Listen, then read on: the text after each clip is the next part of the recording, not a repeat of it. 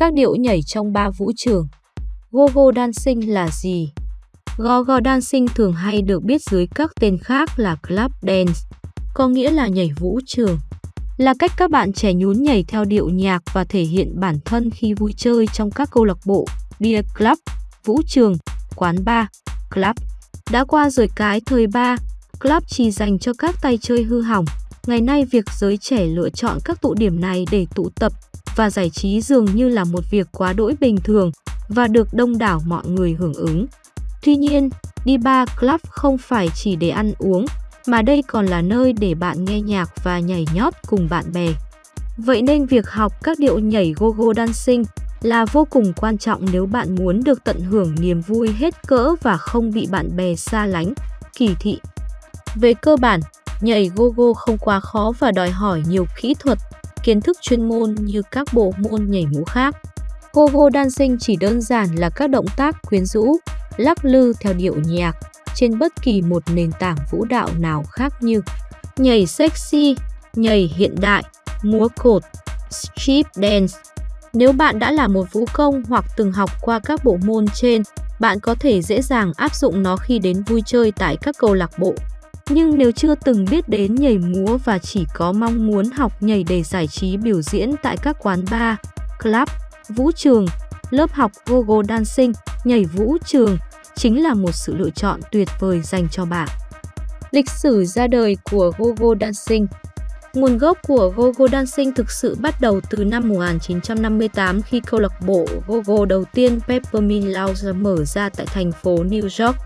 Trong khoảng thời gian này, Peppermint Lounge trở nên rất nổi tiếng và bắt đầu thu hút những ngôi sao, người nổi tiếng như Marilyn Monroe, Jackie Kennedy, Noel Coward và Frank Sinatra lui tới thường xuyên.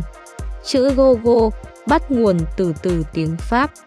Gogo có nghĩa là dồi dào hoặc là niềm vui, niềm hạnh phúc. Ở một quan niệm khác, thuật ngữ Gogo là tiếng lóng của người Mỹ, phổ biến vào đầu những năm 1960, có nghĩa là một cái gì đó đang thịnh hành hoặc phổ biến. Dựa trên từ gốc ban đầu là go hoặc the go, một số cô gái khi đến vui chơi ở Peppermint Club đã leo lên bàn và nhảy các điệu twist trong bộ váy mini cùng đôi boots cao cổ. Nhận thấy được tiềm năng của các cô gái và biết chắc đây sẽ là một điểm thu hút để giữ chân khách hàng, người quản lý đã quyết định thuê các cô gái sexy đó để trở thành những vũ công go-go đầu tiên.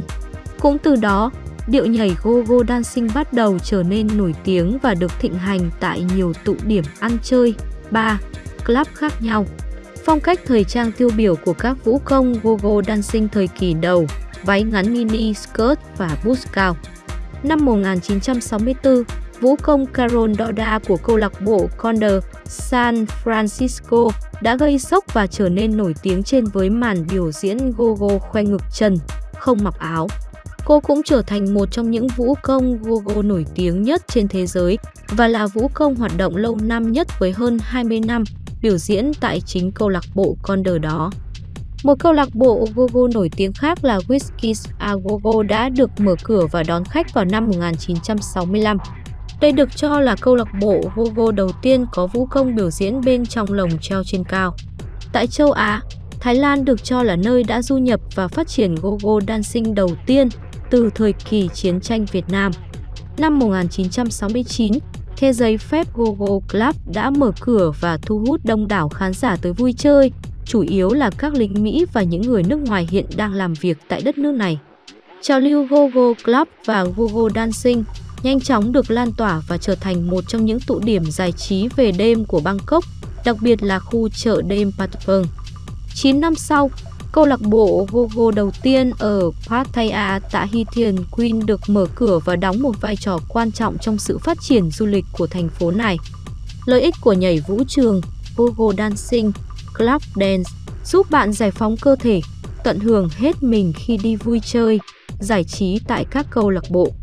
Biết cách điều chỉnh dáng đi, dáng đứng sao cho quyến rũ, thu hút người khác phái, khoe chọn đường cong, cải thiện vóc dáng, Tập nhảy đều đặn sẽ giúp bạn giảm cân, săn chắc cơ thể và thu gọn vòng hai của mình. Trở nên nổi bật trong đám đông với các điệu nhảy sexy và trang phục nóng bỏng.